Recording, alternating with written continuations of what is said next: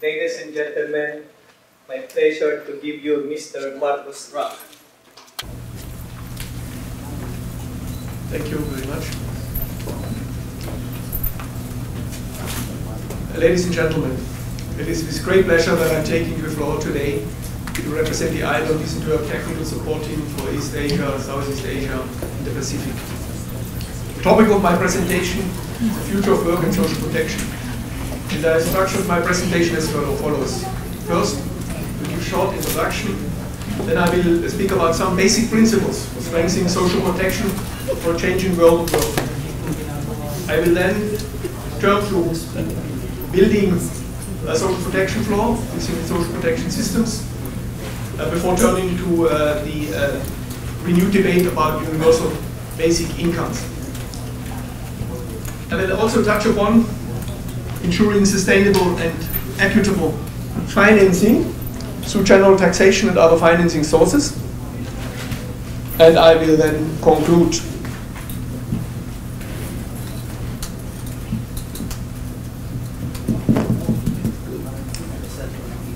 Ladies and gentlemen, the world of work is undergoing major challenges. Digitalization and automation have facilitated the emergence of new forms of employment, such as work on digital platforms. Have led in some countries to an increase in on-call employment other forms of temporary and part-time employment, as well as dependent self-employment and temporary agency work, often referred to as non-standard forms of employment. While such forms of employment may provide greater flexibility to enterprises, for workers they often translate into lower and volatile earnings and higher levels of income insecurity, inadequate and unregulated working conditions, and no or only limited social security entitlements. Changing work and employment relationships alongside weakening labor market institutions have contributed to growing levels of inequality and insecurity in many parts of the world, and to weakening the implicit social contract many societies. Growing precarization calls for greater attention to employment, wage, and social protection policies to ensure that the fruits of economic growth are shared on a more equitable basis.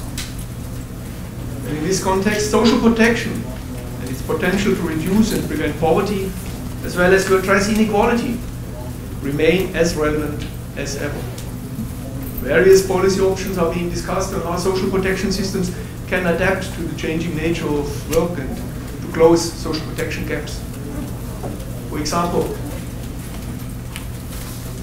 for example, coverage of workers in non-standard employment may be improved by lowering thresholds regarding minimum working hours, earnings, or duration of employment allowing for more flexibility on contributions required to qualify and on interruptions in contributions, and enhancing the portability of benefits between different social security schemes and employment statuses to ensure continued protection for those moving between jobs.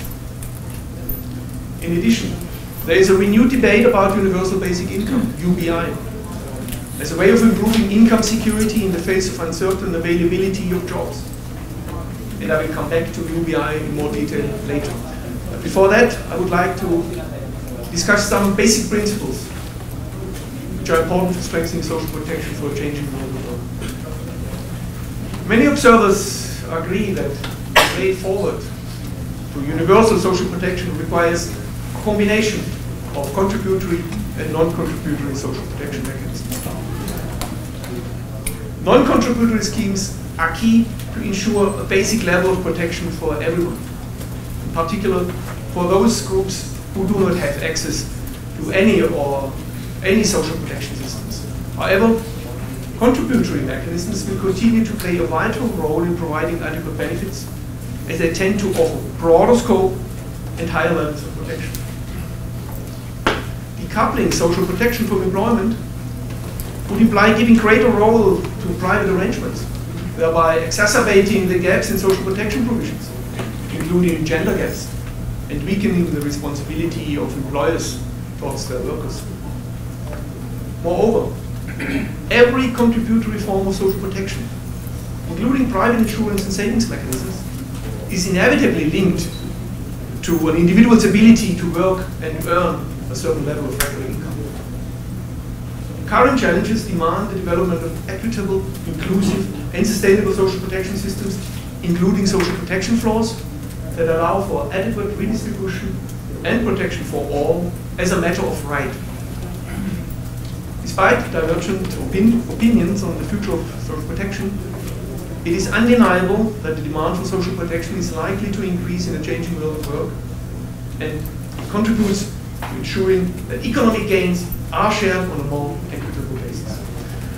Social protection policies are a key element of the implicit social contract of and of decent work in achieving universal health care, reducing and preventing poverty, as well as containing inequality as recognized and promoted in the Sustainable Development Goals. The growing relevance of non-standard forms of employment and self-employment in today's labor markets adds to the importance of ensuring those engaged in such employment are adequately covered by social protection systems. The social protection systems of the future will need to be based on a set of broad policy principles that can ensure universal and adequate coverage and sufficient adaptability to new requirements. The following broad principles can help to guide policymakers in strengthening social protection systems, including social protection floors. First, universality of protection and accessibility. Means ensuring effective access for workers in all types of employment, adapted to their situation and needs. Adequacy, ensuring that social protection systems do not only effectively prevent poverty, but provide appropriate income replacement in an equitable and sustainable way. Transferability, ensuring that social protection systems positively support labor market mobility and account for the structural transformation of the labor market and the economy. Transparency, ensuring that all actors are fully aware of their rights and responsibilities, that legal frameworks provide for clear and predictable entitlements, and that administrative procedures are as simple and clear as possible, fully harnessing the potential of digital technology while protecting personal data and respecting privacy. Gender equality, ensuring that social protection systems are sensitive to the realities that women and men face in the labor market, employment, and society, and that they promote gender equality. And last but not least, good governance, ensuring that social protection systems are financed in a sustainable and equitable way, as well as efficient management and administration.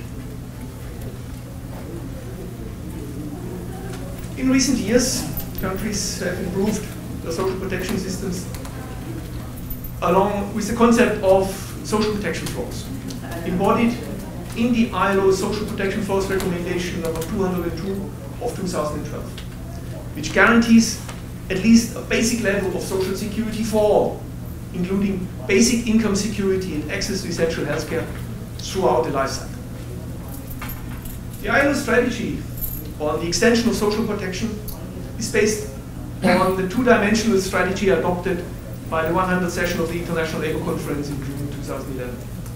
This two-dimensional approach aims at the rapid implementation of national social protection floors, at least a, at a nationally defined minimum level, that is the horizontal dimension, and the progressive achievement of higher levels of protection, the vertical dimension, within comprehensive social security systems according the Social Security Minimum Standards Convention number 102 of 1952.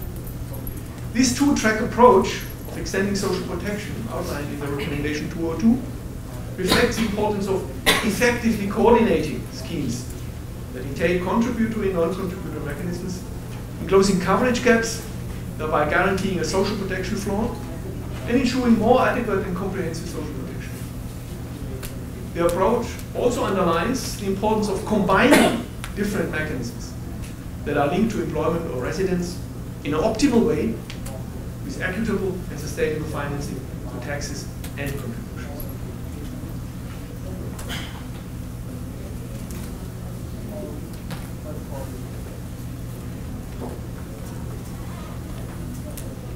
As I've already mentioned, there's also a renewed debate about a universal basic income. UBI, as a way of improving income security in the face of uncertain availability of jobs. As argued by proponents, it would guarantee a minimum standard of living for everyone, irrespective of employment, age, and gender, and would give people the freedom and space to live the life they want. It's also argued that the UBI may contribute to alleviating poverty while reducing the administrative complexity. And cost existing social protection systems. Opponents for UBI question the economic, political, and social feasibility. Of such a scheme. And its capacity to reduce poverty and inequality, especially in developing countries, where the livelihoods of the majority of the population will continue to depend on. Concerns have been expressed that the provision of a UBI would relieve employers of their current responsibility to provide decent wages and their obligation to respect minimum wages and collective bargaining rules. Concerns have also been expressed that uh, to divorce income security from employment in such a radical way would provide disincentives to work. That benefit levels may be insufficient to ensure a decent standard of living. Or that the high cost of a universal basic income would displace other priority areas of government spending, including on public services.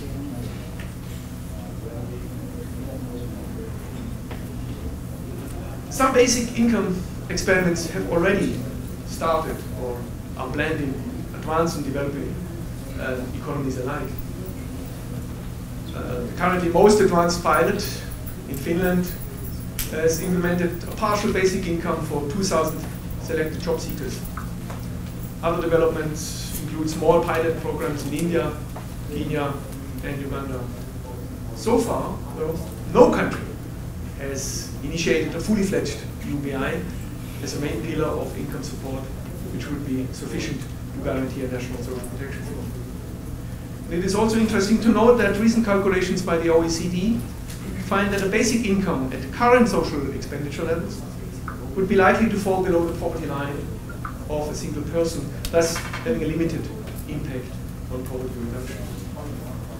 Questions about coverage, benefit uh, adequacy, affordability, and financing modalities, as well as the benefits and services that are kept along with the UBI need to be further explored so that basic income can fulfill its intended purposes.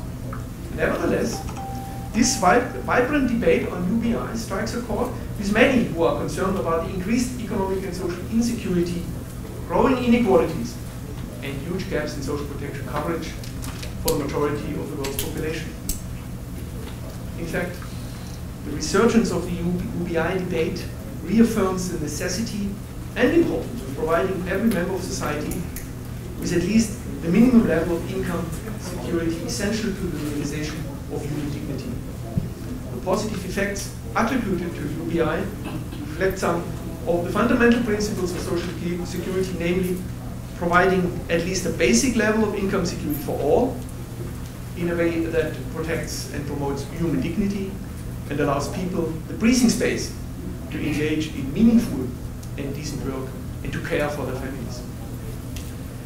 These principles are also at the core of the social protection floor, as defined by the ILO Recommendation 202. It is uh, therefore not surprising that the UN Special Rapporteur on extreme uh, poverty and hunger, uh, poverty and human rights, has noted that a UBI would not be at odds with the social protection floor concept. As I mentioned earlier, national, nationally defined social protection floor guarantees at least a basic level of income security throughout the life cycle. Some governments may decide to realize the income security component of their social protection floor through UBI. Others may prefer to provide such guarantees through other means, such as other universal benefit schemes, social insurance schemes, social assistance schemes, public employment or employment support schemes. It should also be noted that recommendation 202 reaches beyond a basic level of income security, emphasizing effective access to healthcare and other social services, and highlighting the need to achieve higher levels of social protection in line with Convention 102 and other ILO social security standards. While UBI may contribute to closing coverage gaps, its financial, economic, and political feasibility poses important challenges. However, many governments have already implemented universal benefit schemes for certain subgroups of the population. For example, tax financed universal old age pensions, or child family grants, which constitute a basic income for older persons and children, for example, in Nepal, Mauritius, In countries where such schemes are already implemented, they've been very effective in filling coverage gaps in social security systems and ensuring at least a basic level of income security as at a, a manageable cost. Universal coverage can also be achieved through the combination of contributory and non-contributory schemes, or combination of contributions and tax finance. Strengthening tax financed components within a broader social protection system can contribute closing coverage gaps and ensuring at least a basic level of protection. However, in order to fulfill um, people's social security needs, contributory schemes will continue to play a key role in ensuring wider scope and higher levels of protection to as many people as possible, as set out in the international labor standards. Greater emphasis on tax financing of social protection systems will be necessary in the light of the high demands placed on the social protection system due to possible high levels of unemployment and population aging combined with possible erosion of the contribution base for social insurance. However, there is little agreement on how this can be achieved. Some observers are hopeful that additional resources for the financing of social protection systems could stem from taxing robots and other technologies, or capital in general, to help to share productivity gains more widely among the population. Others argue that the taxation of carbon emissions or other forms of environmental friendly taxes could provide an additional source of revenue. What is less clear, however, is whether and how governments could enhance their capacity to tax the highly mobile owners of robots and capital so as to mobilize the necessary resources for social protection in the context of a globalized economy and tax competition. Governments are already facing major challenges regarding the taxation of corporations, especially those active in the digital economy. Other proposals for enlarging fiscal space include the reprioritization of public expenditures, broadening the tax base, increasing the taxation of wealth, increasing consumption taxes in a non-regressive way, such as taxes on tobacco, alcohol, and luxury goods, reducing fuel subsidies, curtailing illicit financial flows, and more favorable macroeconomic policies. While it is essential that more effective tax systems can ensure an adequate and sustainable funding base for tax finance benefits, it is likely that social insurance contributions will continue to play an important role as a source of financing for social protection. Complementing public and social, public social protection systems, private provisions may continue to play a certain role. Yet the experience with the privatization of pension schemes in the 1980s and 1990s, which did not deliver expected results in terms of reducing fiscal costs, expanding coverage, and increasing efficiency, raises serious doubts about the expanded role for private provisions.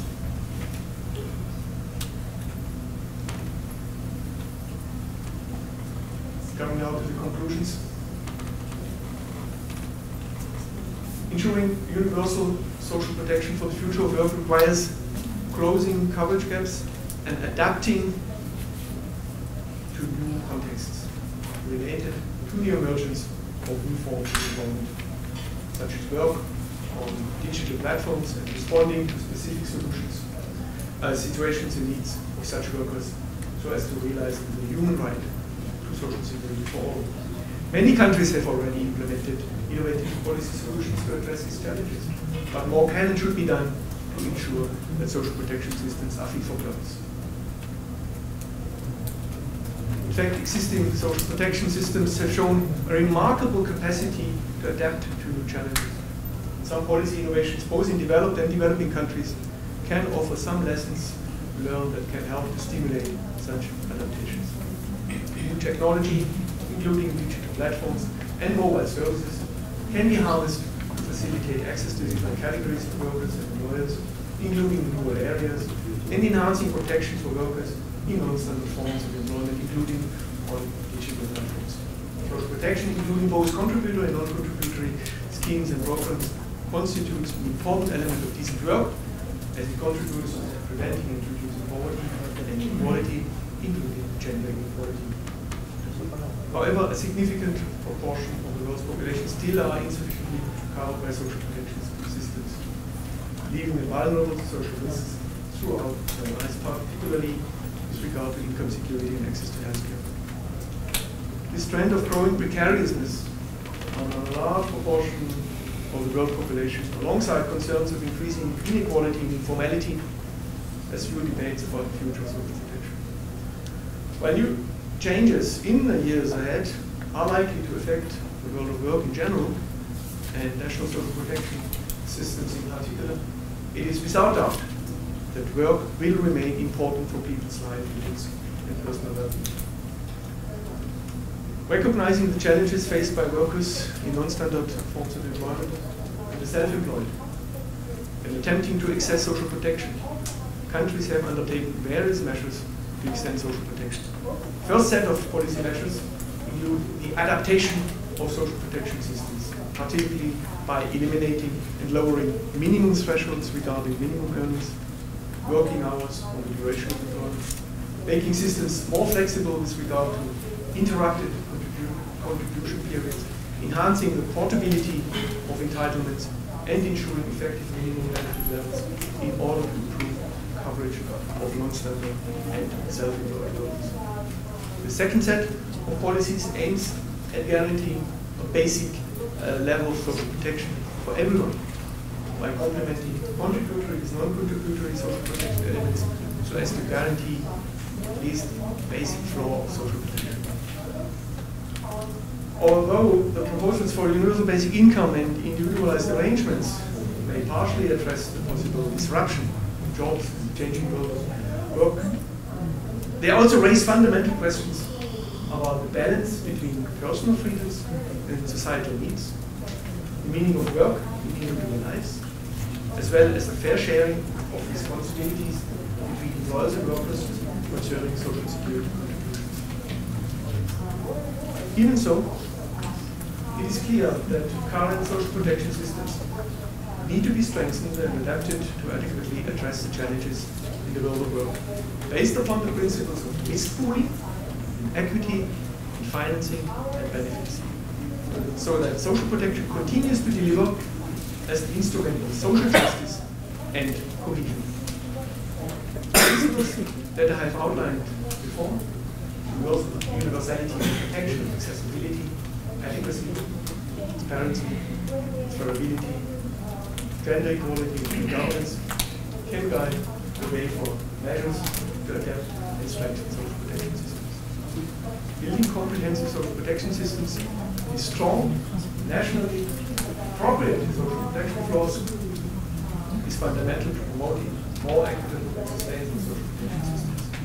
In this regard, the ILO recommendation number two underlies the potential of combining different mechanisms of social protection into either employment or residence with appropriate financing, taxes, and or contributions.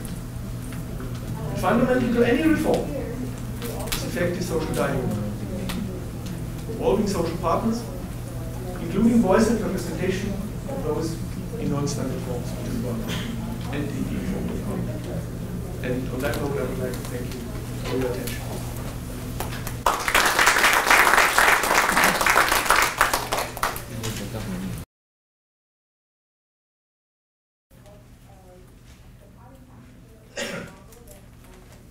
Good afternoon. Uh, first of all, uh, thank you to uh, PIDS for the opportunity to uh, speak here this afternoon. Uh, just a bit of uh, disclosure. This presentation today, portions of this were presented two weeks ago at the Ayala UPSE forum on, on with the same topic, uh, preparing or catching up rather with the uh, fourth industrial revolution. Uh, I, I, I, I, will be discussing uh, the topic that you have there uh, on the screen, essentially the same thing if you're wondering about the color, it's the UAAP season. The fourth industrial revolution is a label used to describe the current wave of technological advancement characterized by the interconnection via digital networks of all processes of modern production and distribution. It differs from the previous industrial revolutions in terms of its the rapidity of its spread and its potential for accelerating economic development in emerging economies, along with the promise of raising productivity, lowering costs, expanding opportunities, and improving the quality of goods and services digitalization is also transforming existing patterns of production, consumption, work organization, and human interaction at some risk. Others say great risk to employment, incomes, personal security, and inclusivity. Two labor market related phenomena widely discussed in connection with the digitalization are the substitution of computer-enabled processes for labor in some industries and the growth of various non-standard forms of employment in the so-called gig economy. As an article in the October 2017 issue of The New Yorker observed, once robots assisted human workers. Now it's the other way around. At Brown University's Humans to Robots Laboratory, computer scientists are continually studying ways to create robots that can work with humans in performing complex tasks involving fine motor skills. Think of picking blueberries, as well as recognize and operate things on the shop floor or in the general environment. This has unsettled many observers, including a number of economists who are concerned that increasing automation could immiserize people with low skill levels and worsen inequality. Yet digitalization is also celebrated for democratizing entrepreneurial opportunities. With the aid of online technology and apps, various services such as transport, food and package delivery, cleaning and shopping, accommodation, among others, can now be contracted for on demand. Work need not be performed within the usual employer-employee relationships, but rather in a string of one-off transactions or gigs. The flexibility in hours of work and the relative ease of entry are considered advantageous features for workers in search of new or additional earnings opportunities. However, such alternative work arrangements have also underscored the risks inherent in non-standard employment and the inability of existing policy frameworks to deal with them. By way of contributing to the ongoing conversation about FIRe, we look at the related literature, what the related literature has to say about the effect of technology on jobs, and make a number of observations in light of current, the current structure of Philippine employment. We also examine the gig economy in the broader context of contingent employment and discuss the implications on labor policy of heightened employment and income uncertainty. I'd like to think that the discussion here uh, is complementary to uh, what uh, earlier Dr. Sawada had presented uh, on uh, uh, technology and jobs. A fact often glossed over in many attempts to forecast the future of work in the age of automation is that automation can also create jobs. through various effects operating within a firm or industry as well as across industries. The magnitude of these effects will depend, of course, upon labor technology complementarities, labor supply elasticities, and income elasticity of demand obtaining at the time.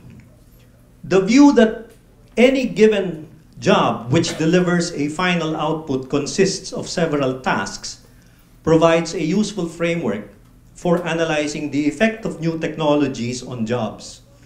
A relatively new approach in labor economics, this is more flexible than the standard production function, which posits output as a function of labor and capital. An important feature of this alternative model is the distinction between skills and tasks, which in the standard model are considered one and the same. In the task-based approach, the fundamental unit of production is a task, and skills are used to perform tasks, which are then combined to generate output. Tasks can be performed by domestic labor, foreign labor through outsourcing or offshoring, or capital, or capital depending on cost considerations and comparative advantage. From this perspective, it is easy to see that technology can alter the nature of work by changing the way specific tasks are performed. Not all tasks can be performed by machines, however. Computers or robots substitute for humans in performing specific tasks, not the entire job. The extent of substitution depends upon the degree to which the cognitive processing of information, which is essentially a human activity, can be codified or translated to a logical step-by-step -step procedure. Thus, this is what you see uh, in the first column. Thus, many of the earlier functions of bank tellers have been taken over by the ATM to the extent that certain routine tasks, such as those involved in dispensing cash to a depositor, could be programmed. But this did not stop employment growth in banking as demand for banking services grew and teller jobs shifted to relationship banking. Similarly, the computerization of certain librarian tasks, such as cataloging and inventory, has allowed librarians to devote, devote more time to reference services or assisting elderly faculty members who are unfamiliar with the new search technology. A more complex way of processing information, which you find in the uh, middle column, is through pattern recognition, which starts with gathering data until it is sufficient for the computer to identify regularities.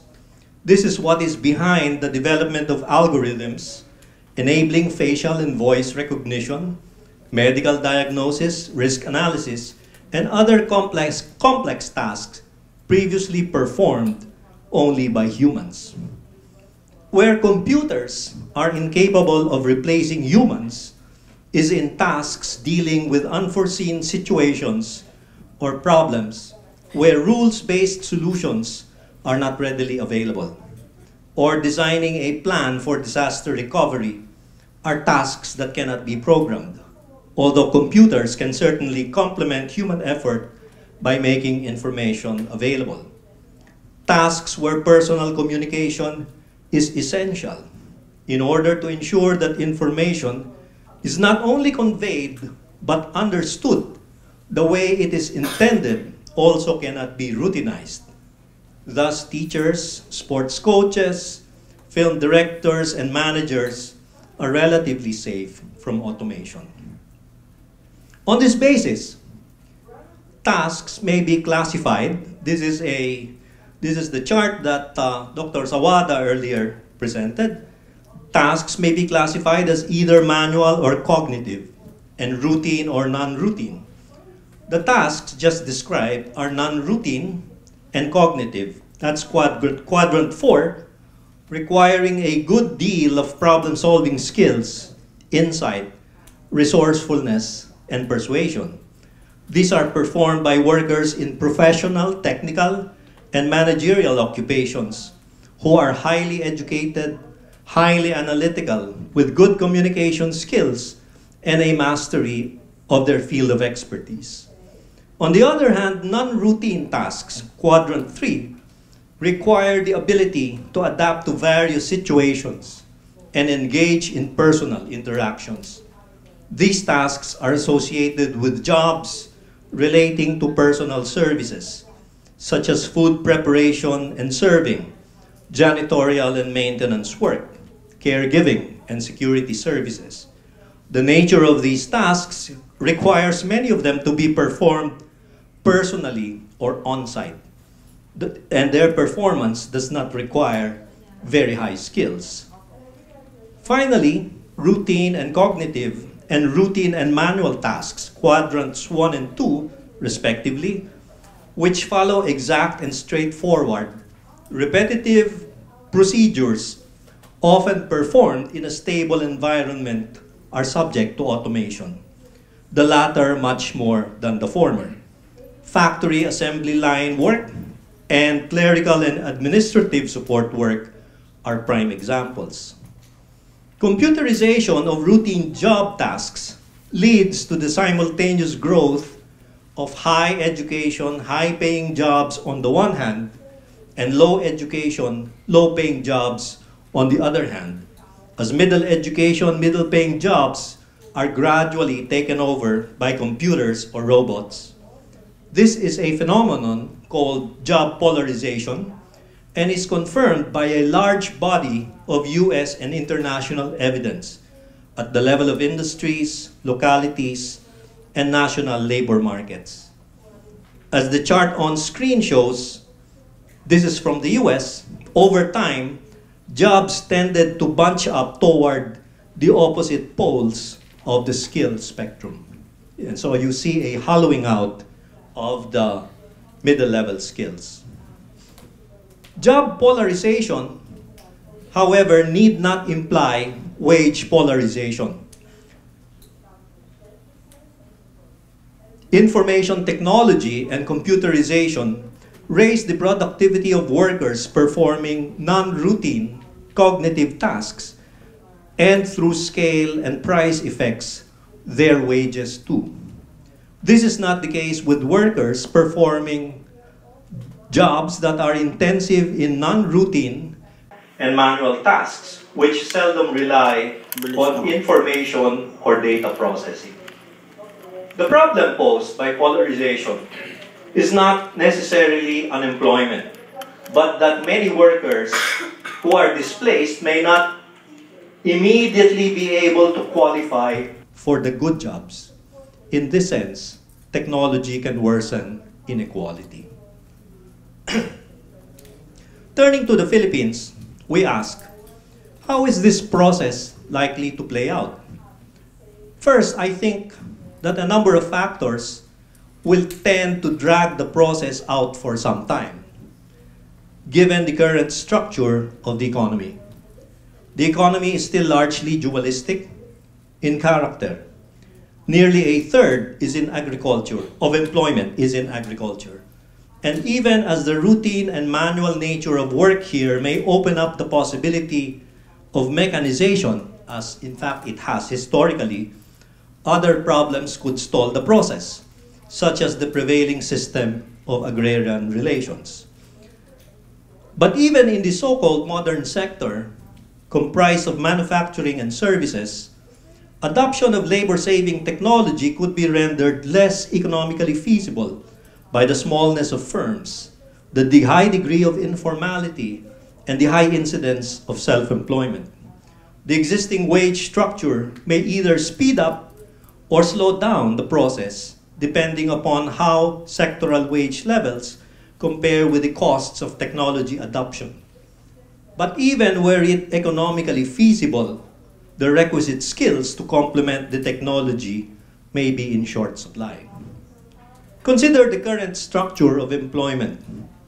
The table up there shows total employment broken down by occupation based on uh, the Philippine Standard Occupational Classification. Now, understandably, the occupational groupings here are too highly aggregated. In fact, each one is an aggregation of various occupations performing a variety of tasks. As a first approximation, though, it gives an idea about how a labor-saving technological shock might impact jobs based on the task approach. Now, the Philippine Standard Occupational Classification adheres to the methodology of the International Standard Classification of Occupations.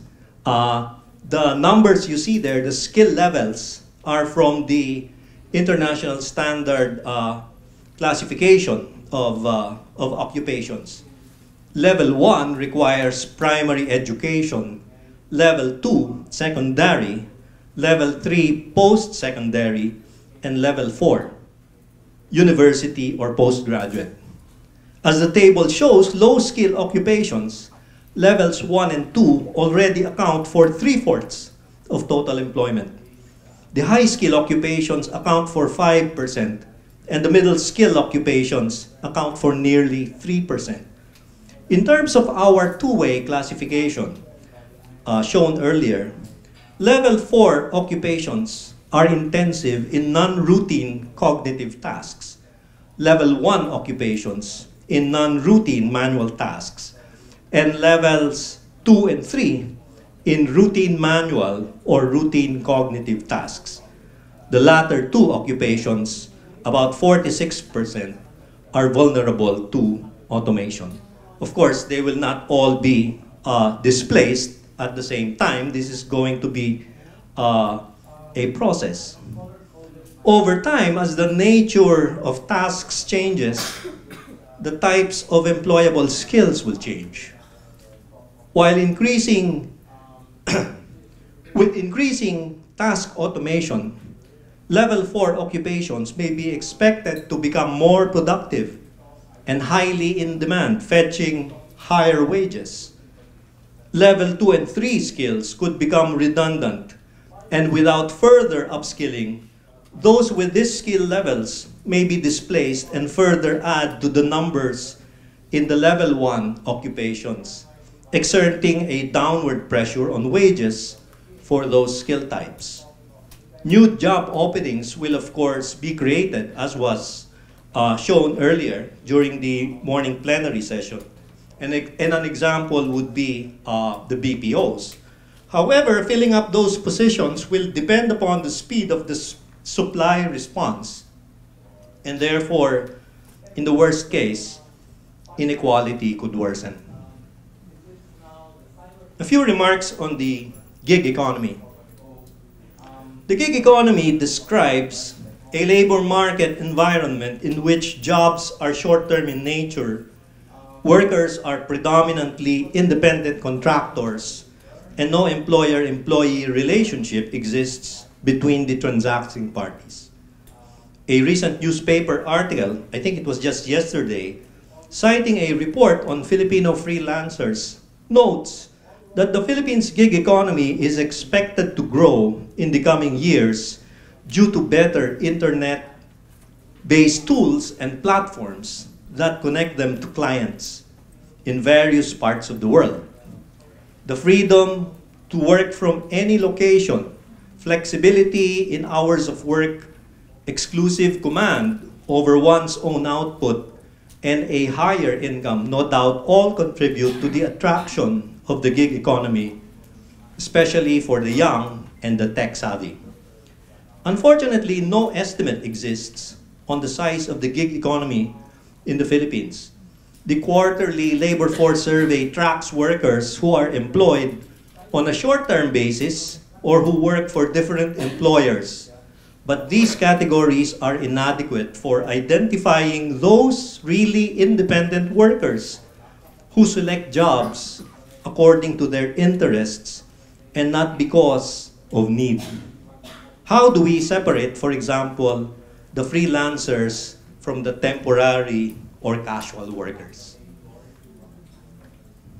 At any rate, the gig economy has called attention to the risks inherent in non-standard employment arrangements. In the US and Europe, it has triggered a reassessment of policies relating to employment rights, social protection, and pensions. It has challenged the current understanding of the terms employer and employee, a problem that did not arise when jobs were well defined and long term and workers' bargaining units under existing law were relatively clear and firmly in place. These issues are not new. They are essentially the same issues that are raised in connection with the employer's practice of hiring workers on a non-regular basis, contractuals, casuals, or temporary, whether hired directly or through an employment agency. As in the gig economy, these contractual arrangements are generally of a short-term nature and do not grant the worker the non-wage benefits usually included in regular employment contracts. As these contracts conflict with established notions of the employment relationship, which is widely interpreted as a regular job that is secure, they are resisted by organized labor. The extent of non-regular employment is shown in the table on screen. Short-term, seasonal, and casual employment those are the figures uh, encircled in red. They constituted 27% of all employed in 2015. Outside of agriculture, it is particularly high in construction and wholesale and retail. The next table shows that non-regular employment is particularly high among the low-skilled occupations, level 1 and 2. So this is very much unlike the notion of independent con contractors who constitute a substantial part of the gig economy in the US or in advanced economies. The next set of tables are based on establishment level data from the Labor Department on agency hired workers and non-regular workers in 2013 and 2014. The survey was conducted among establishments with 20 and more workers. Of the roughly 620,000 agency hired workers, 90% is split almost evenly between industry and services. And most of these agency hired, work, hired workers are in manufacturing, wholesale, and retail trade, accommodation and food services, finance, education, and administrative and support services. The last table shows the types of services that firms contract out in terms of the task classification discussed earlier, some of these services involve non-routine manual tasks such as security services, food service and catering, and marketing sales. But some of the others are routine manual in nature and therefore vulnerable to automation such as production, assembly, packaging, and warehousing. That these workers are still being employed to perform these tasks given the possibility of automation must suggest that the cost of hiring them under existing arrangements is still lower. I think that is an important research question. To conclude, in the current context of globalization and technological change and the ensuing process of job destruction and creation, the risk facing both firms and workers has increased. Survival in the global business environment requires greater agility. Thus, firms avoid being locked into production technologies that tie them to inflexible long-term contracts with their workers, increase hiring costs, and make employment or hiring more difficult. To avoid these costs, firms resort to employment contracts that try to circumvent existing labor laws. And as a result, unemployment has become more precarious and workers' incomes increasingly vulnerable to, to economic shocks. In response, organized labor has pressured government to impose limits on labor contracting, thereby restricting employers' ability to terminate workers.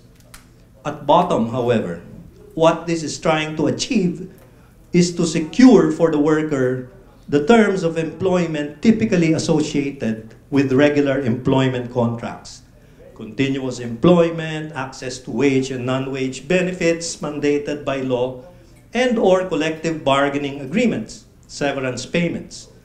The government's response has been to define the scope for lawful labor contracting and explicitly assign the responsibility for providing mandated benefits or complying with labor standards to either the labor contractor or the firm for whom the services are performed. I think this is what the proposed law on security of tenure must be trying to do, defining the concepts employer and employee under a regime of production, under a new regime of production, in order to fit an existing legal framework. To repeat, in the current context of globalization, technological change, and increasing and the ensuing process of job destruction and creation, the risk of the risk facing both firms and workers has increased. Firms are resorting to various cost-reducing technologies and alternative contractual arrangements that provide greater elbow room to stay competitive regulation should not curb, curtail that flexibility, but fairness and equity require that labor not be made to bear all the risk. Strengthening social protection systems should indeed be an integral part of harnessing the fourth industrial revolution for broad-based growth and prosperity. The conversation about social protection should continue.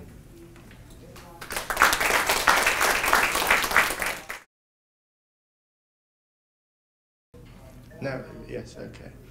Um, well, I, th I think most of what I was about to say has been said already. It, it's, it's an excellent session. I think uh, what we had, the, the ILO position, which I, I would sum up as social protection is a human right. Yeah, it's, it's, it's a perfectly respectable uh, social position, then I think our colleagues' uh, very clear exposition of the numbers there for specific occupations is it was, was I thought very impressive, really really good. What, what I'll try to do is something slightly different. I'll, I'll try to, to get onto the drone of what was the last guy who spoke in the first in the first uh, in the morning get up in the drone and take it up a couple of miles up and start seeing the picture from a bit further up. Hmm?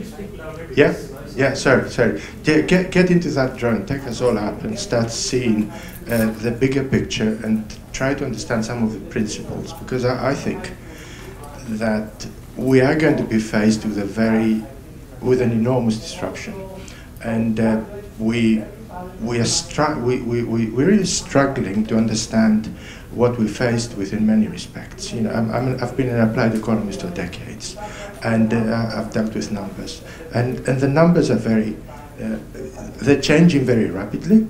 The speed of what we faced with is is is extremely, it's extremely fast. Really, I don't think we've seen anything like that before, and at the same time. The uncertainty that goes around, that, that accompanies these numbers, is huge. So if you can think of a forecast that's got really huge uncertainty, that's what we're faced with. So perhaps our ability to understand the detailed numbers is not going to be the way to go about and, and decide which way we, what, what we should be doing in terms of policy. So my main question today is, uh, it boils down to, you know, what kind of policy routes are, are, we going to be taking? And I'll explain to you the reasons why I take this, this uh, uh, this position. So first of all, I ought to say that this this project is is a collaborative project with the Pacific Economic Cooperation Council. It's sponsored by DFAT through my, my visit here and Google and the University of, of Adelaide. And an outline that I'll, that I'll, give you is about what I think is technological change, uh, the fact that I'm going to focus on technology, uh, yes, I should be shifting. The fact that I'm going to focus on technology, work, and jobs, and the social consequences of change, and then I'll say a few things about the broader Asia uh, Pacific region.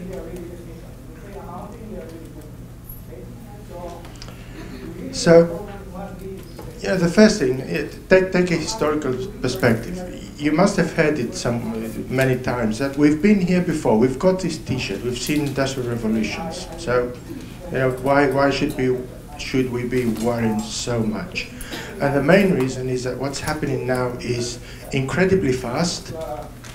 If you think about what happened in the first industrial revolution, it took about 30, 40, 50 years for the displaced workers to start coming back and finding new jobs. So the new jobs took a long time to reappear. So what's happening today is one industry goes, another one, uh, another one appears. So things are moving a lot faster. It's no, no surprise. No surprise. The technology in which this revolution is based is a lot faster. It's, it's, it lends itself to this kind of thing. So where do we see change? I mean, the main change we see, I think, is that now we can do more for less. That's, I mean, if, if when, when, when you strip it down to, to, to, the, to the very basic, that's what we're faced with now. Information has become so cheap that we can do all these things that are based on information. That's what we've been talking about. We've, we have been talking about the price of information, okay? That's, that's, that's it. So the price of information has gone down so much that we can do all the kinds, all these kinds of things that information allows us to do with accuracy. We can do them a lot, a lot easier. At the same time, uh, we can, we, we can, we, we have been liberalizing trade, and we have been globalized. That's facilitated again by the fact that information is a lot cheaper. Uh, my, my favorite example is this, this, this thing here, which I mean, you must have seen one of those. Yeah, it's the, the added value of this for the manufacturing of it is uh, six uh, percent in China. The rest of it is U.S. and wherever else it's distributed, sold, and and, and supported. Uh, so what's been happening through this change is is an enormous unbundling of the production processes. So what we see now is we can do one thing here, the other thing somewhere else, the other thing somewhere else. And we have these global value chains, which are only possible because information is so cheap.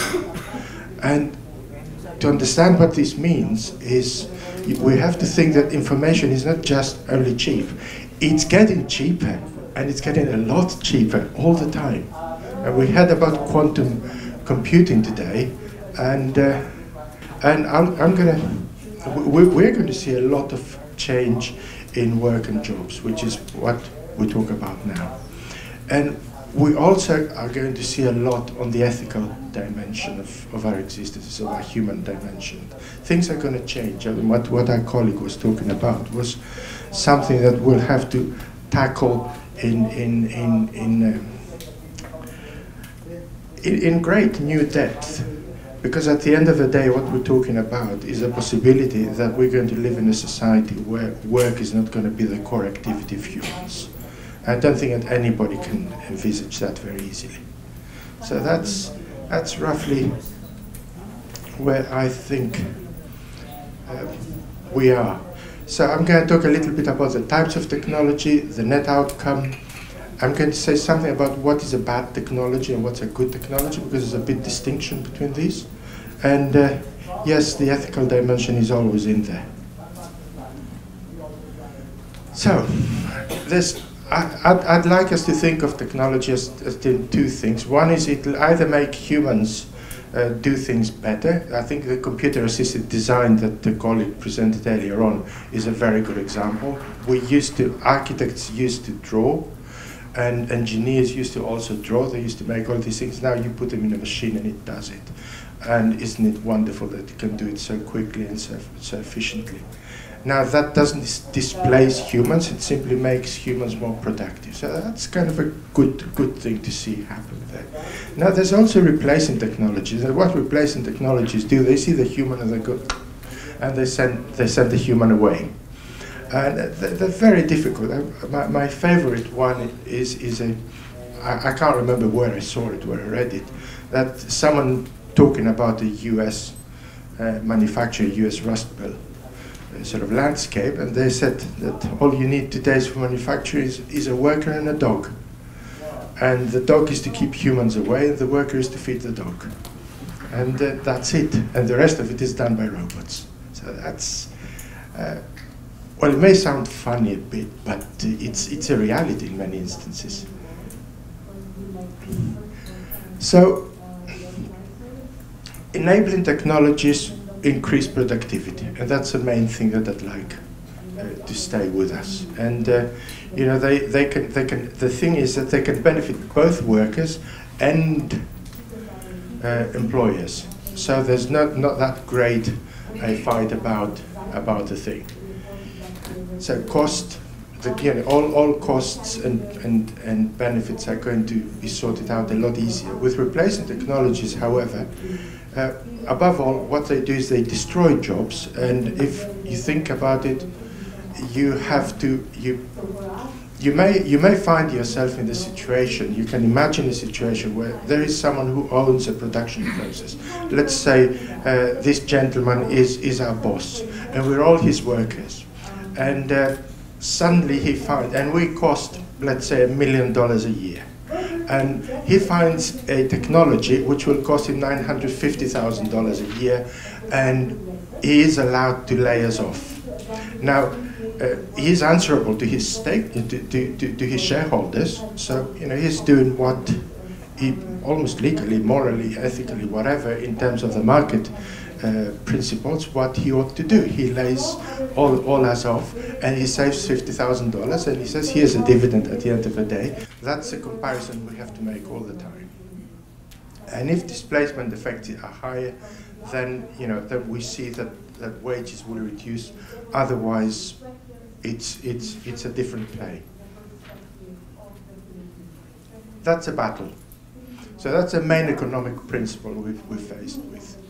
It doesn't matter which sector we're at. It doesn't matter. All, all other things don't matter. And this is the main principle that we've got to be looking at. That's what we've been looking at all, all day today. Now, this one here, sorry. So historically, the net effects have been positive. If you go back to the previous industrial revolutions, it's it's it's very loud next door, isn't it? uh, it, it has been. Oh, what history tells us is that it's going to work out well. It's it's okay. No, it's. It's. And uh, however, more more recent evidence tells us that stagnant wages have started appearing. If you look at the wage distribution, the development of the wage distribution in the United States, you, you saw that with technology increasing, we had the higher level of skills getting increased, increased wages, whilst now this has stopped. The wage distribution has started remaining flat. So things are not happening as they did happen in the old uh, model that we have got, we have seen through history. So perhaps we are going into uncharted waters in terms of uh, the impacts, economic impacts. So uh, what's a, what are the really bad technologies? They're the ones who just destroy jobs, and they, they do that by bringing very modest productivity gains, so that's the one side of it, but also they're the ones that destroy jobs and then leave the displaced workers with no skills. That's now we're getting into the works, into the workers and jobs essence of this of this problem.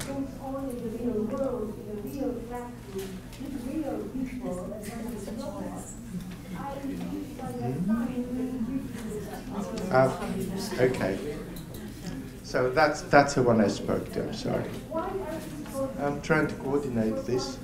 So there's, there's, when we talk about displacement now, we have some, we, we have some serious problems. And the first thing that we have, and that's part of the literature today, is that displacement is, is, is very difficult to measure. When, you, when, when a job is lost, then what, what's happening? When you, when you look at a job, I think you, you mentioned that, Emmanuel, that a job consists of several tasks. So you may have a job that consists of, say, of four tasks. Now, if you get some, if you get to see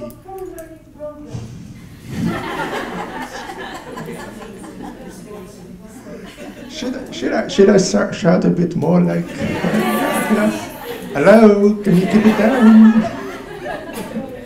right, okay, sorry for this, guys, but it is. Um, if you, if you think about it, you may lose you may lose jobs because of automation, but at the end of the day, it's these tasks that can be automated that are going to be lost. There may be a job that's got some parts of it that can be automated, but if the, the complete job cannot cannot be separated in these tasks, then it's going to stay there until everything can be automated or the largest part can be automated or the bits that can be automated and these that can't be automated can be divided. So the measures that you see uh, that you see out there, all, all these estimates about how you know how, how, how many jobs are going to be lost, you've got to take a few pinches of salt when you see them. We don't know. The essence of it is we're forecasting and we don't really know what the problem, the, the size of the loss of the, of the job losses is going to be. Now, there's also the question of how many new jobs are going to be created. That's you know, earlier on we were in the in, in the difficult to forecast uh, area. Now here, this is this is true crystal ball stuff. We don't know. I think anybody who says we can predict how many new jobs are going to be created by new technologies in the next 10, 20 years, I think that you know they, they really are making very, very wild guesstimates.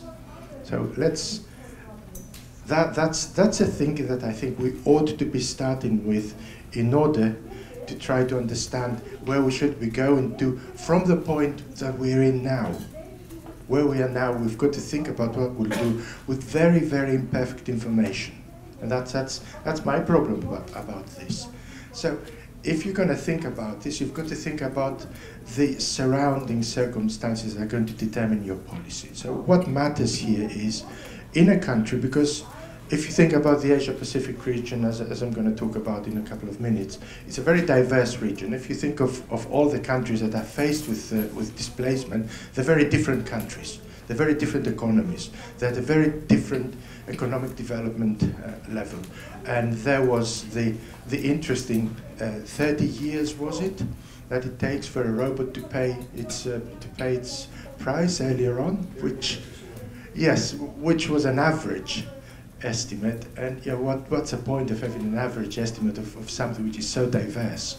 Obviously, in some parts it's going to be two years, in other parts it might be 30 years, I don't know. But so the level of development is really important. Uh, the trade and investment relations. Now, if you think about it, what, what does trade and, and, and, foreign direct investment do? They, they actually, it's a mobility of goods and capital. It's, it's the mobility of technology is part of it. So how much are these going to be feasible? How much are these going to be facilitated? And how much are these going to be uh, liable to external shocks? As we see, they are very liable to external shocks nowadays. And the last bit here, the factor that we need to consider is education, training, and skills uh, development. You know, the levels of these are really important from, for where we are and where we want to be in the, in the next 10, 20 years as the technology changes is, is taking hold. Um, yeah, okay. Let's move on. So the big picture today, yeah, there are large rewards. I think if we fly up there for a few months and we start seeing what's down there, yeah, I think what what we heard in the first two talks was so inspirational in terms of what can be done. You know, you look at the life sciences changes that are there, you look at the manufacturing changes. It's absolutely fascinating what, what can be done with technology like that. There's no doubt about it. The rewards are huge. We ought to be optimistic. But at the same time, there are some really important negative consequences. And uh, to cut to the chase, you go to the last line down here. It's political, it's economic, it's social, it's institutional tensions. They're all emerging. We see them, we live, we live through them nowadays. Okay? And as the technology takes more hold and as the change becomes more intense, these, these problems are going to, these tensions are going to intensify. I don't see how they could resolve themselves. There's no mechanism here to resolve them.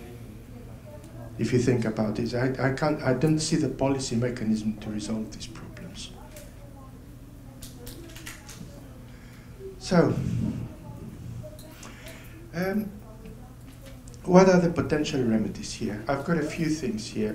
Education and upskilling, social protection, institutional reform, and again, looking at our ethics is quite important.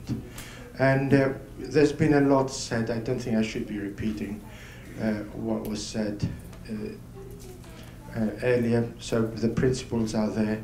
I think they're all uh, valuable means through which we can try to address some of the problems that are going to be uh, introduced with our workforces. So I'll, I'll, conclude. I'll take another. How much longer do I have?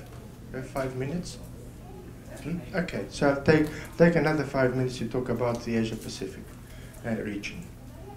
So I think that's that's where we are, and uh, you know it, it, has got a lot of technological change. It's it's been a region that's that's been globalized in a really interesting and uh, actually quite fascinating way because there's many uh, there's there's there's a large number of uh, medium-sized uh, countries. There's a there's some a couple of very big countries. There's more than a couple actually of very big countries. So it's a very diverse region here, and it's very it's uh, it's very important Uh, to, to see this. So what are the risks that are presenting themselves in this region nowadays?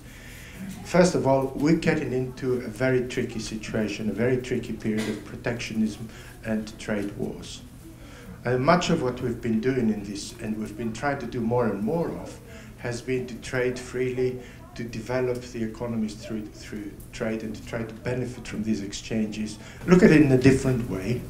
Uh, this is an external shock. Nobody can say that we were expecting certain people to be in certain places, but these these are external shocks, and uh, you the, all they will do is that they will come and influence all the economic factors that we are looking at in a specific way, which is going to be negative. It's going to make things a lot harder.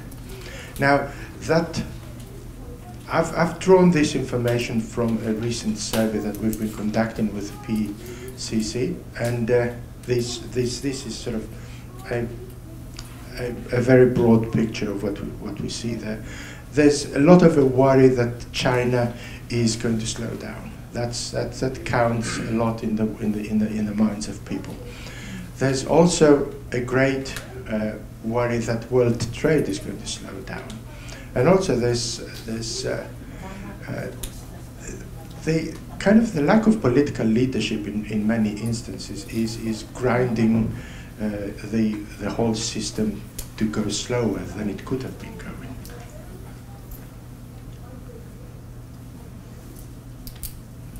So what is, what is the composition of this, of this area?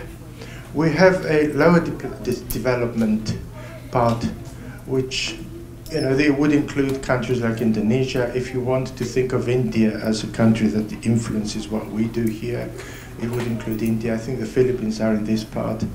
And, uh, and uh, there's the middle development part, which is uh, largely China. And there's the high development part, which is largely the US, Japan, and uh, Australia, Singapore, and, and the like.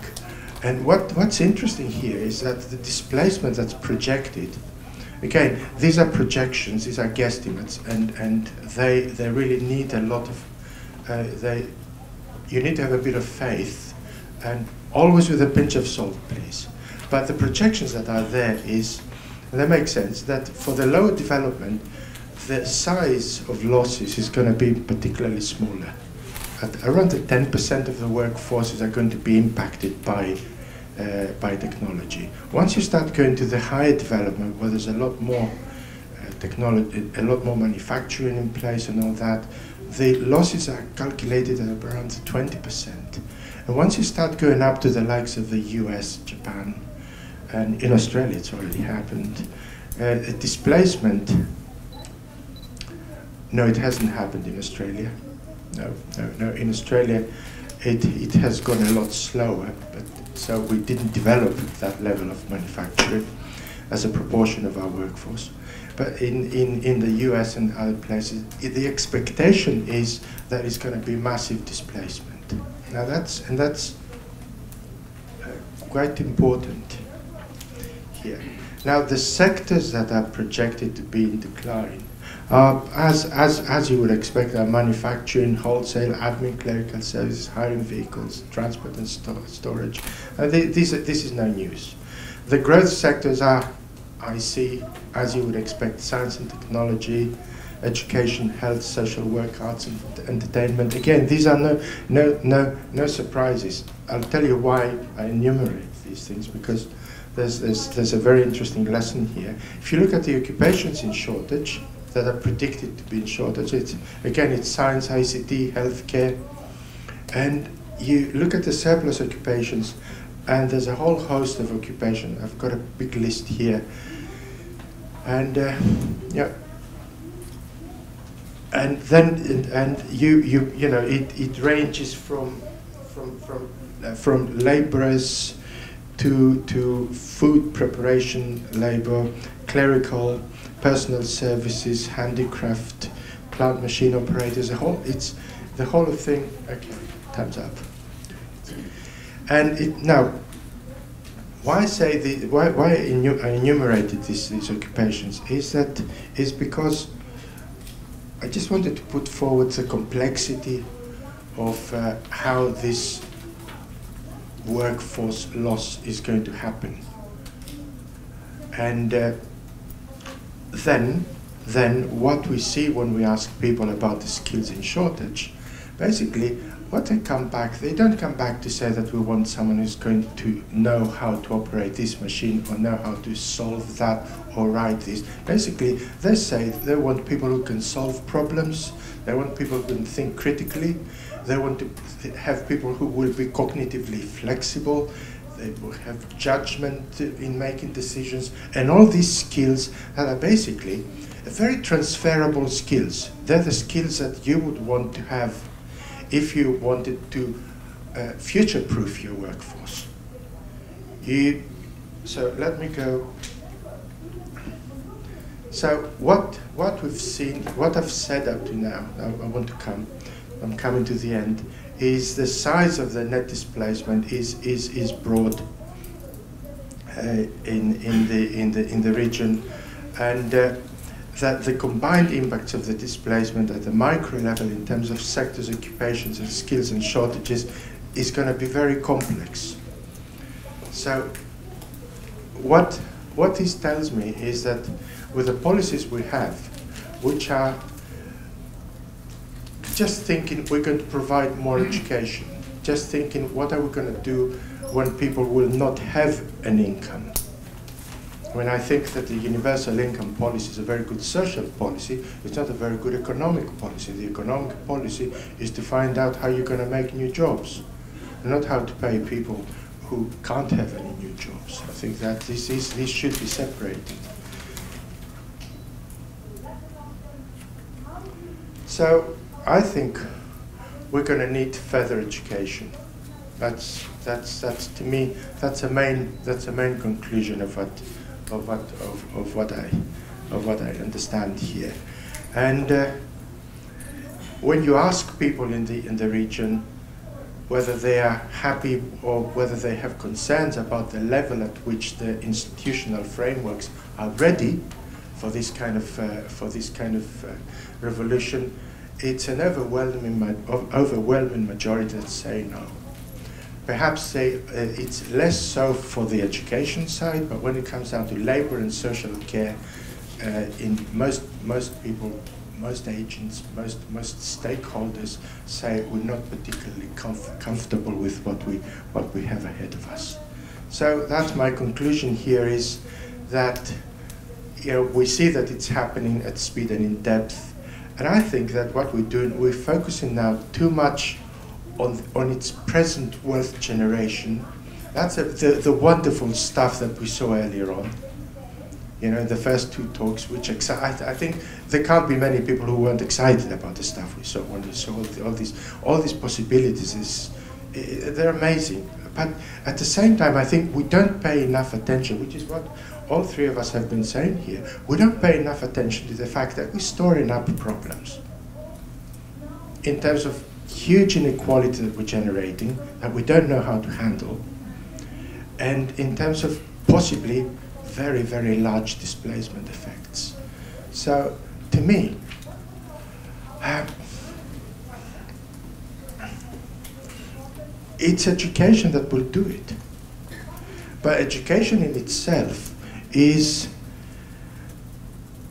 the old fashioned education that I learned to deliver, which universities and schools have learned to deliver, is not really working all that well. Because what it used to be, we were talking about this with Vic yesterday, what it used to be, it used to be qualifications that were translated into occupations. And even in the old days that these qualifications, take any data and look at the translation of qualifications into occupations. There's very few of them that translate in, in any faithful way. So even in the old days, it was a bit of a leap of faith to get a qualification to find a job. Nowadays, the concept of an occupation is kind of gone. We, I mean, I believe that the statistics, the occupational statistics of 2018, are very, very uh, are, to doubt because what used to be called occupation X uh, 10 years ago, 20 years ago, it's not exactly the same now. It's, it's got different tasks in it, it does different things and all that. So the translation from education to occupation is not a faithful one. And even more so, the way we deliver now uh, our the tools that we want to give to young people to get to enter the labor market is not particularly uh, fit for what uh, for what they're going to get in the future. We should be delivering more task, uh, more transferable task, and and uh, education. Uh, rather than specific education, so everybody should be doing Fortran in their first, in, in the in the in the last years of their school. Programming. That's what I would say. Sorry, I've taken a bit too long.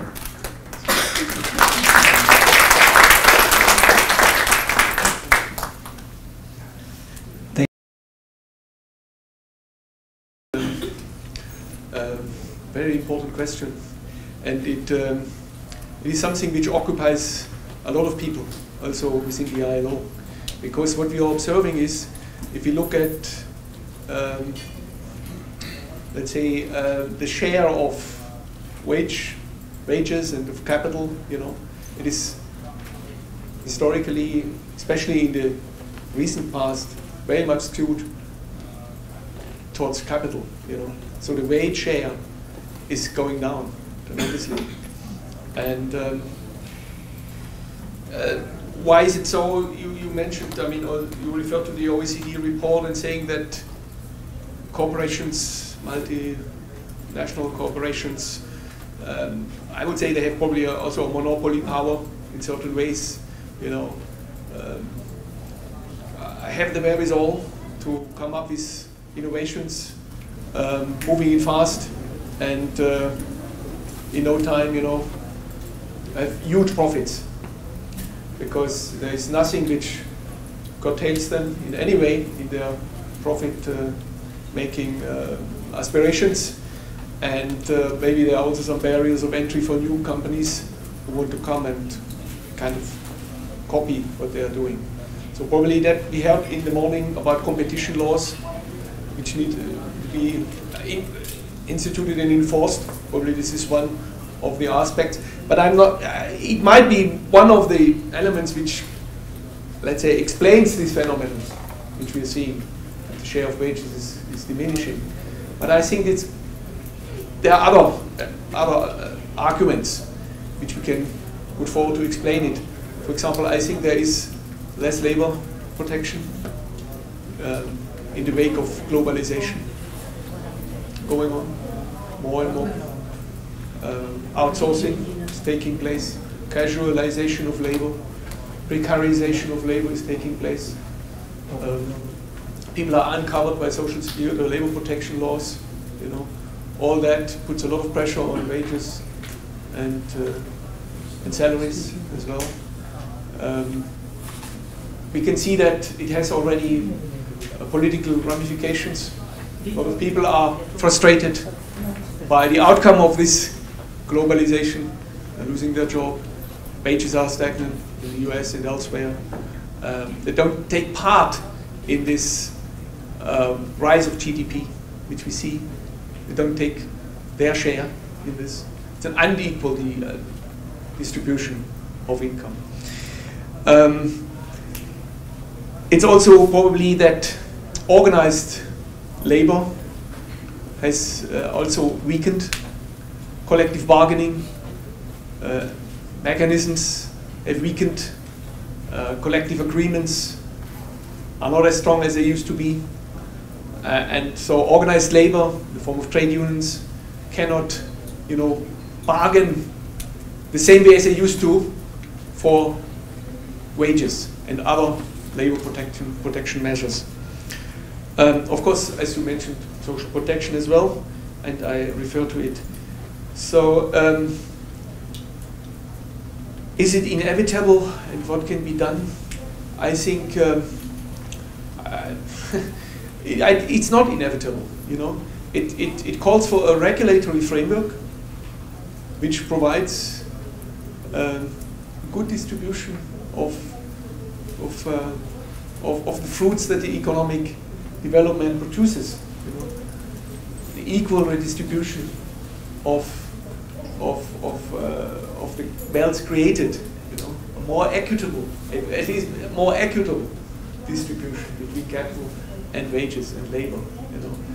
Um, and we have international labor standards, you know, which um, the international community agreed upon that is international law. Countries are called upon to transform that into national law and adhere to these standards and to provide even higher levels of standard, you know. And um, um, I think we, we, we, uh, we see already a backlash on the political side. You know, people don't accept this anymore. You know, this kind of phenomenon they are seeing. You know, and they, there is a mistrust towards the political system the so-called establishment. You know, so uh, probably uh, political system, the policy makers, political parties, etc., have to respond to that in a certain way. You know? If they don't want to have um, societal unrest, etc. You know, but uh, all this is, is a matter of great concern, great concern, I think, worldwide.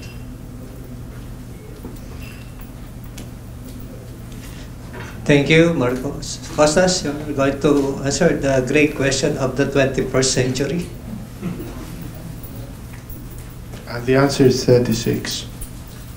For those who know Hitchhiker's Guide to the Galaxy. Yeah, that's, that's it.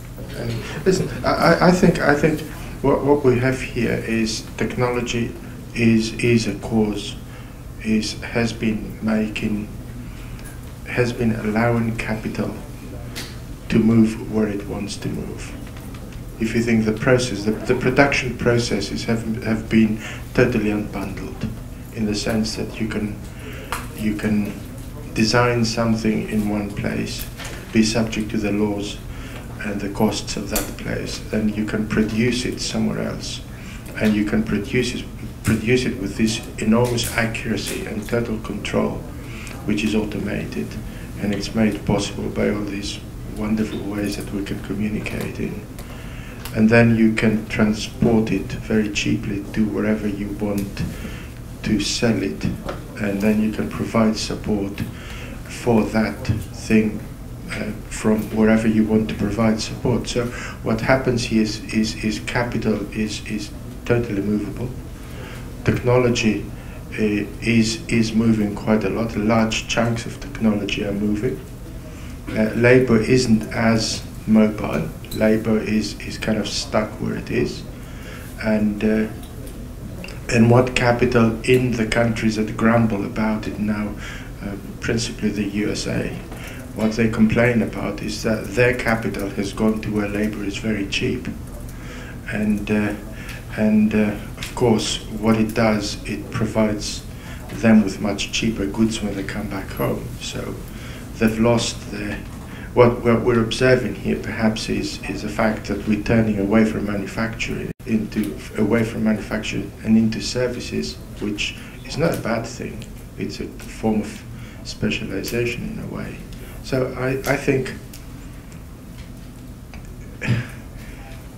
the bad part about this is the inequality that comes with it. That's, that's, that's a thing that, that, that, that's negative about it. And especially you find countries which were used to having very high levels of standard of living, now suddenly they have to, to do with much less and, and far, uh, far, far lower standards of living for, for parts of the population that were not used to this. And this is why, where you see the dissatisfaction that exists in, in, in, uh, in many countries. But there are other countries that take advantage of it, where take advantage not in a bad way. They, they, they can benefit from this, this unbundling. Uh, and, and these countries uh, should not be complaining, should actually be seen in a very optimistic way, like Mr.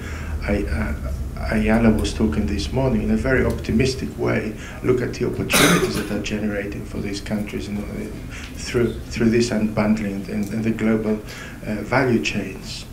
Uh, so I think the picture is, is, is far more nuanced than saying something is very bad and, or, or something is very good. And the main principle I think that matters to, to be understanding these things is, is actually the unbundling of the, pro of the production process and the price of information. These two, that, that's what makes it work. And perhaps uh, in, in some parts, I mean, you, you see with the migration crisis in Europe, it's very difficult to get into the European Union nowadays. In the old days, you know, Greeks could emigrate to Germany, they were welcomed, and, you know, hundreds of thousands of them.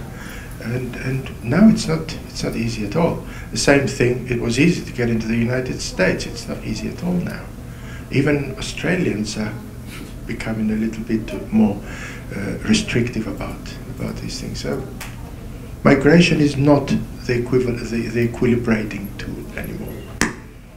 Just very briefly, um, and to well, mainly to complement uh, what's been discussed, I think globalization is an important uh, explanation there, along with technological change and the the usual lag between these two forces and uh, labor market institutions to to adjust. Uh, uh, in fact, one outcome of that is you know the the the closing of migration as a as a, as an equalizing uh, as an equalizing factor. Uh, so with that uh, uh, option uh, closing, as well as you know the the usual lag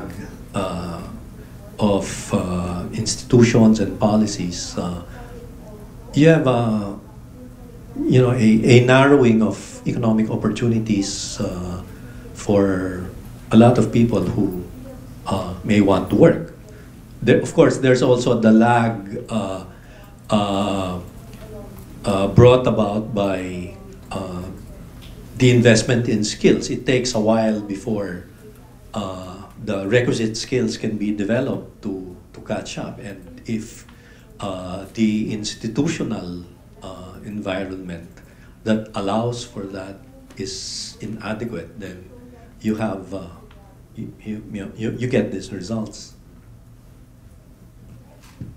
Thank you, gentlemen. So at this point, I wish to thank our distinguished uh, resource persons for their excellent presentations uh, and also our the brave ones who choose this session. We hope to see you again and uh, ponder the future of work. Uh, thank you, Dr. Mani. Thank you, Costas. Thank you, Markus. Thank you, everybody. We are expected to be at the uh, Mark 10, yeah, for the closing uh, plenary session. Thank you very much.